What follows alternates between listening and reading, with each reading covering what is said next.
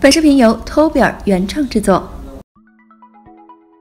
在买车的过程当中，不少消费者都会有试车的需求，其实这也是再正常不过了。也只有通过试驾，才能知晓这款车的具体性能和舒适性。但是近几年，因为试驾出的问题，可真是一波接着一波。那么，如果在试驾途中出了意外，怎么办呢？前段时间新闻上说，有车友去买车，在试驾的时候，因为操作不当，又没有看清楚路上的坑，所以直接撞了上去，导致两个车轮破损。就这件事，4S 店要求全款赔偿，两个轮胎价值在几千元以上。对于这件事情，大家都不好做评价。两边都有理由，但是两边都有责任。从车友的角度考虑，试驾的路段是由 4S 店所规定的，路面上有坑是店员没有及时沟通，所以才会造成损失。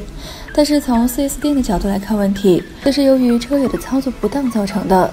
就这件事情一直没谈拢，双方都不愿意承担损失。所以对于试驾这件事情，小编觉得大家可以多考虑考虑。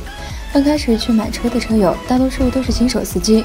虽然试驾在所难免，但是一定要在试驾前先检查好车子的质量。还有就是，一般来说，在试驾前会签署一个试驾的协议。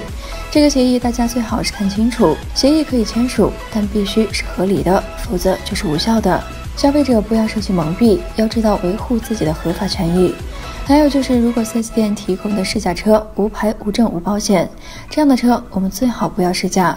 万一出现了问题，吃亏的还是我们自己。